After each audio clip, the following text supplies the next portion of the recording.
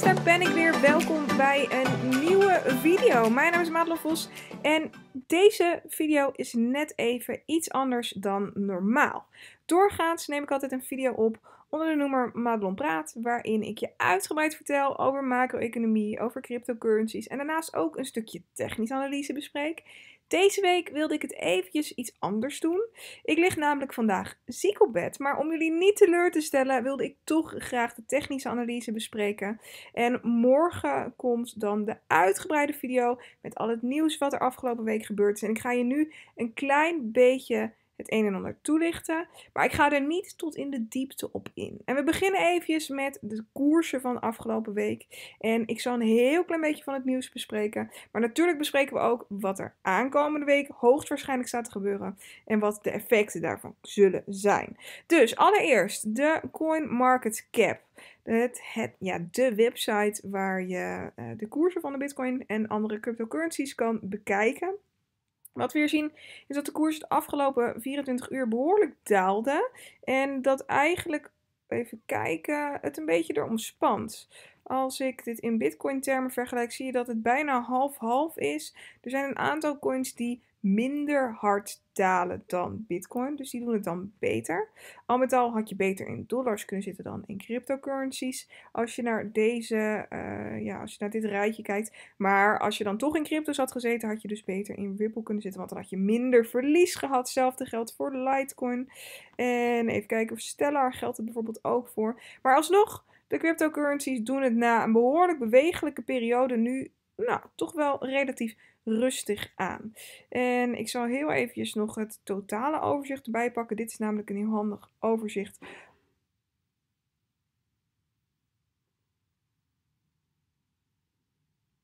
Als je wil zien hoe het ervoor staat ten opzichte van de afgelopen dagen, 24 uur, afgelopen uur. En daarbij zien we toch wel een behoorlijke afwisseling. En dat viel me, nou, eerlijk gezegd best wel op. Laten we even kijken naar uh, wat we hier zien. We zien dat Bitcoin de afgelopen 7 dagen maar liefst 3% gedaald is. Uh, Ethereum is ook gedaald, XRP is gedaald, Ripple, XRP. Um, en we zien dat Bitcoin Cash juist 10% gestegen is. En ook Binance Coin doet het goed, Stellar, Tron doet, doen het goed, beter dan Bitcoin. Er zit maar eentje in de top 10 bij die het slechter heeft gedaan dan Bitcoin de afgelopen 7 dagen. En dat is Bitcoin SV. Doet het dan een behoorlijke periode. Niet zo fantastisch. Maar um, Bitcoin doet het dus ook niet geweldig ten opzichte van de rest. Nu moet ik wel zeggen dat toen we de stijging hadden, uh, anderhalf week geleden, de enorme koersstijging, waarin we maar liefst 40% stegen in één dag tijd. Als we die hiernaast leggen, dan zagen we wel dat Bitcoin harder steeg dan de top 10, gemiddelde top 10 cryptocurrencies. Dus dan valt het wel weer reuze mee. Maar goed, um, dat is het interessante wat we nu op de Coin Market Cap zien.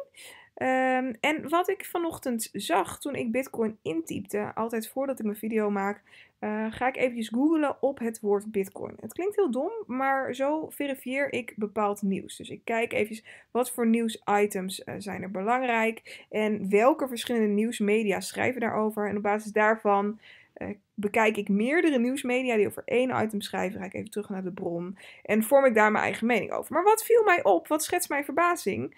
We zien hier als je Bitcoin intypt, en het kan een nieuwe, een nieuwe feature zijn, maar het kan ook zijn dat het er al heel lang is. We zien dat hier een hele mooie tool is ingevoegd. En uh, dit is aangeleverd door Morningstar. Dat is een uh, provider van data van onder andere aandelen. Um, maar dus nu ook uh, van cryptocurrencies, waarin je dus prachtig dit grafiekje kan zien. En dat vind ik wel heel erg leuk, want dat was tot voor kort niet zo. Althans, niet voor zover ik weet. En we zien hier dat we uh, Bitcoin dus toegevoegd is aan het rijtje met allerlei andere uh, valuta. Maar wat mij ook opviel was dat Bitcoin Cash er ook in zit. Dus dat is heel leuk. Uh, ik heb Ripple bijvoorbeeld, XRP heb ik er nog niet tussen zien staan. Maar voornamelijk is het nu Bitcoin en Bitcoin Cash. Heel erg interessant dat dat nu ineens toegevoegd is als extra tool. Het kan zijn dat ik dit gewoon nooit eerder heb gezien. wellicht door de update van vorige week of iets dergelijks. Maar goed. Um, dit is interessant dat we dit nu zien. En wat ook interessant is, is de grafiek. En ik heb hem ditmaal eventjes wit uh, gemaakt. Dat was voor een screenshot die ik eventjes moest nemen. Maar wat we hier voor ons zien, is de grafiek van Bitcoin. En we zien hier Bitcoin op de daggrafiek. En vorige week heb ik met jullie Bitcoin ten opzichte van goud en zilver besproken. Dat we een duidelijk patroon zagen. Um, en wat we nu eigenlijk zien is dat we weer een behoorlijk duidelijk patroon zien. Uh, maar ik ga je zo van alles eventjes uitleggen. Allereerst voor de mensen die nieuw zijn op mijn kanaal. Je ziet hier de uh, exchange Bitstamp. Ik gebruik deze exchange omdat het volume door Bitstamp een stuk beter aangegeven wordt. Zo simpel is het. Uh, ik heb het idee dat de volumes wat eerlijker zijn. Terwijl de volumes op bijvoorbeeld Coinbase of nou ja, vooral de Chinese exchanges moet ik eigenlijk benoemen. Bitfinex, Bitmax, dat daar behoorlijk wat fake volume in zit. Coinbase is wat minder, maar over het algemeen zijn het de Chinese, Japanse exchanges die, nou het wat minder goed doen. Uh, Bitstamp uh, geeft vaak een correlatie aan. Um, daarmee wil ik zeggen dat je door middel van het volume kan zien of een trend eindigt of niet. Uh, het volume hoort in principe de trend te bevestigen. Dus als de trend opwaarts is, dan hoort het volume ook opwaarts te zijn. Als het niet zo is, treedt de divergentie op en uh, kun je neerwaartse trend verwachten. Nou, goed, volume werkt hier mooi op.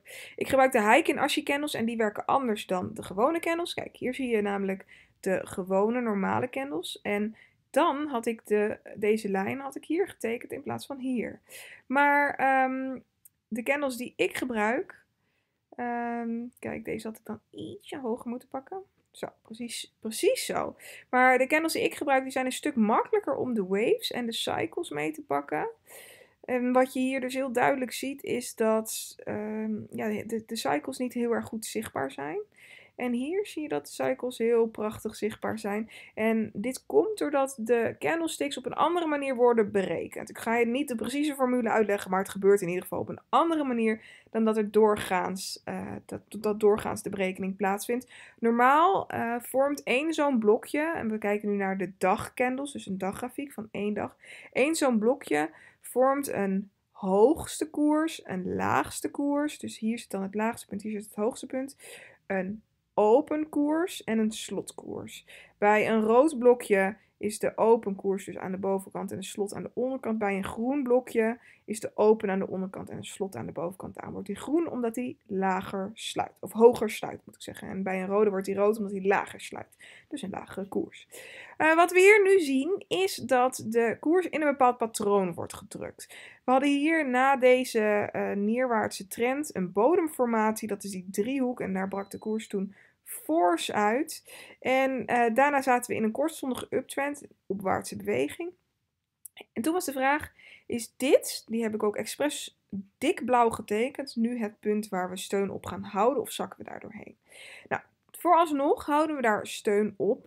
We zagen namelijk dat de grafiek, de bodems op de grafiek omlaag gingen, terwijl de bodems op de RSI opwaarts gingen. Dat is positieve divergentie, heb ik vorige week ook uitgelegd. En wat je ziet is dat die koers precies tegen deze lijn aanbotst. En dat is eigenlijk niet zo heel erg, um, niet zo heel erg, maar de koers had hij eigenlijk uit moeten breken. Wat we dus nu merken is dat de koers gewoon terug dit trendkanaal in botst. En we hebben dus hier een trendkanaal. Echt dit stuk waarbij de toppen dus steeds lager worden. Maar we hebben ook een parallel lopend trendkanaal. Dus hierbij loopt deze lijn parallel aan deze lijn. En ik verwacht dat we deze trend voort gaan zetten. Altijd wanneer de uh, blokjes, dus de bodies van de candles kleiner worden op de Heiken Ashi candles die ik heel graag gebruik, ja, geeft dat vaak een, een omkeerpatroon weer. Dus is er een grote kans dat de koers vanuit hier omkeert en teruggaat. Je ziet het ook hier. Hier heb je grote blokken, blokken worden klein, omgekeerd. Uh, hier zie je het ook omgekeerd. Hier zie je blokken worden weer klein, gaat weer een beetje omhoog, blokjes worden weer een beetje klein, gaat weer een beetje naar beneden. Nou, zo kun je dat ook op het grote plaatje zien, maar uh, hier is het wel duidelijk. De koers komt hier niet doorheen. En we zien ook dat het volume nu afloopt heel erg. Uh, zelfs toen de, deze groene body hier ontstond, liep het volume nog af. Dus ik denk dat we uh, strakjes deze lijn misschien wel weg kunnen halen. Maar eerst even kijken als de koers hier zo doorloopt of je dan hier nog steun op ondervindt. Want dat kan. Vaak heb je uh, ik moet deze eigenlijk iets lager tekenen, zie ik nu. Maar vaak heb je dat um, koers op een bepaald punt steun of weerstand ondervinden. Uh, eerst fungeert het als een weerstandslijn en daarna fungeert het nogmaals als een steunlijn. Dat kan, dat kunnen we hier ook wellicht verwachten, of misschien wel iets verder in de toekomst. Ik vind wel dat deze lijn heel sterk is op de 7500 dollar en wellicht kunnen we die bodem extra hard aanstampen. Nu is het eigenlijk even wachten op het omkeer, op de omkeerformatie. Dus wanneer we terugzakken, misschien zakken we hier wel doorheen. Maar naar mijn verwachting, mits het volume zo laag blijft, gaan we hier niet opwaarts uitbreken. Ik zal je nog eventjes de 4 uur grafiek laten zien. Even kijken hoe dat eruit ziet. Kijk, hier zie je al die... Eigenlijk is het een soort van semi-dubbele top. Hier was gewoon geen... Het volume kwam niet boven het gemiddelde uit. Er was heel weinig volume. En um, ja, dat, dat, dat zegt genoeg. Ehm, en hierbij zie je ook dat de koers heel mooi inderdaad richting deze nieuwe lijn nu aan het lopen is. En hier wellicht weer steun op ondervindt.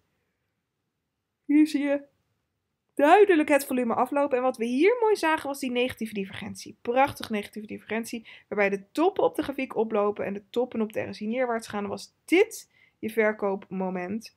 En nu gaan we even afwachten. We zouden hier een kleine horizontale lijn kunnen tekenen op de 9090. Um, even zien of de koers daar doorheen stormt of niet. En onder de, mocht de koers daaronder komen, dan zou dat op de korte termijn een verkoopsignaal zijn, mocht je er nu nog in zitten.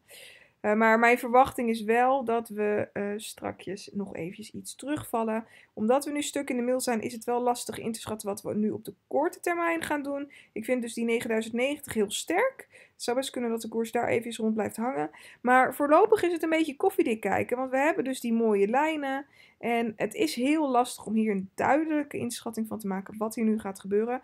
Wat ik wel durf te zeggen is, zolang de koers niet opwaarts uit deze neerwaartse trend gebroken is, kunnen we niet hoger dan, dan die 12.000 eh, dollar, kunnen we niet richting de 12.000.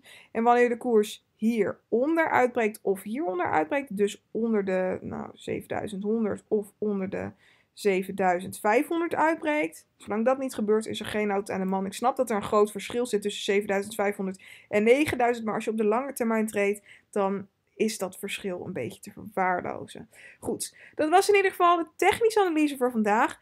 Blijf, uh, zorg dat je morgen in ieder geval klaar zit wanneer de nieuwe video online komt. Ik hoop dat die ook richting de avond, tegen het einde van de avond, online komt. En mocht je nou meer willen leren over technische analyse, check dan eventjes de gratis cursus op sovels.nl. Als je op sovels.nl uh, eh, mis bitcoin of crypto cursus intypt, dan kom je een gratis cursus tegen waarbij ik je een uur lang vertel over alles wat met technische analyse te maken heeft. En wil je nou meer daarover leren, dan kan dat ook. En dat kan in de uitgebreide cursus, die kan je ook op sovels.nl terugvinden. En hieronder vind je een linkje naar, uh, naar die cursus. Wat ik hier trouwens nog zie is een, um, een mooie steunlijn. Dat valt eventjes eh, mooi op. Kijk. Dan zien we dat de koers hier precies steun heeft. En dat komt dan weer overeen met dat stuk in de middel en dat lage volume. Dus mocht nou de koers hier stand houden, dan krijgen we deze uh, driehoek waar we in terechtkomen. En het is momenteel 3 november. Um, plus 7 dagen. Nou, dan zullen we volgende week ongeveer weten waar de koers heen gaat. En hoogstwaarschijnlijk zal dat een neerwaartse uitbraak teweeg brengen. Maar we zien dus nu wel dat de koers in deze driehoek terechtkomt. Moet je deze lijn even wegdenken. En dit is gewoon een hele mooie, een hele mooie flag die we hier zien. Vaak is het zo wel dat de koers uit flags opwaarts uitbreekt. Maar omdat deze lijn zo sterk is, Um, durf ik dat nu niet zo gauw te zeggen, zou ik zeggen we knallen eventjes terug hierin. Maar hou dit in de gaten, want dit is een, een interessante op de 4 uur. Sowieso zijn de, patronen op de 4 uur grafiek minder reliable dan de patronen die op de grotere uh, timeframes plaatsvinden. Dus daarom is het eventjes afwachten wat er nu gaat gebeuren. En wellicht breekt de koers opwaarts uit. Um, maar mijn, um, ja, mijn verwachting is dat het uh, op dit moment niet sterk genoeg is, kijkend naar het volume. Maar goed, hou dus deze rode lijn daarbij ook nog even in de gaten. Dit is iets wat me pas later opviel. En natuurlijk als je meer info over het nieuws wil weten, zorg dan dat je morgen bij de nieuwe video bent. Heel veel succes deze week. En dan zien we je morgen. Doei doei, tot dan!